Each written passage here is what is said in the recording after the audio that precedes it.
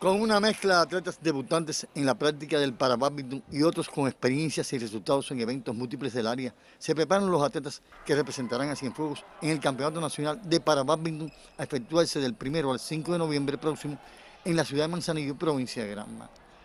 Primero por la pandemia y después por las limitaciones de recursos desde el 2018 en que los parabadmintonistas cienfuegueros se coronaron campeones nacionales, no se efectúa el Campeonato Nacional de Parabadminton.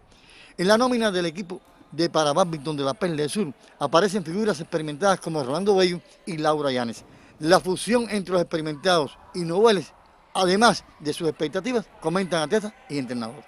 Estamos entrenando golpeo a los laterales y golpeo en net. Esta semana, para la semana que viene, trabajar el golpeo atrás. Y no, la preparación súper bien. Empezamos un poco tarde, pero todo bien.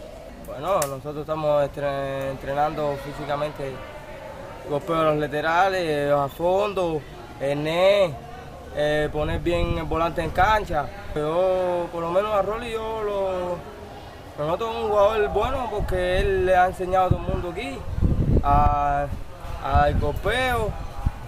Por lo menos a mí me ha enseñado bastante. Para nosotros, motivado que Rolly esté con nosotros porque eh, tenemos un ejemplo a seguir y él nos ayuda bastante, nos guía y es un buen ejemplo para nosotros. Bueno, el retorno ha sido bastante fructífero porque se han incorporado nuevos atletas y hemos tenido que poco a poco ir insertándolo, enseñándolo a que sigan mejorando cada día y tengan una, una motivación constante. Nos hemos preparado para el campeonato, nos estamos preparando técnicamente y físicamente bien, llevamos meses trabajando y se están viendo los resultados poco a poco según las medidas que hemos tomado. El objetivo fundamental es alcanzar el primer lugar que eh, revalidar primer lugar del último nacional eh, que se efectuó en el año 2018. Hace varios años que no se efectuó un campeonato. Eh, tenemos varias fortalezas, tenemos dos atletas de nivel internacional que participaron recientemente en, Chile en los Juegos para Panamericanos y son medallistas, la, atleta Laura Yanes y la atleta Rolando Bello.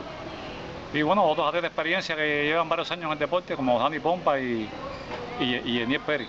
De tal manera se preparan los parabadmintonistas y fuegueros que después de seis años sin confrontaciones de su nivel optan por preservar el primer lugar que ostentan.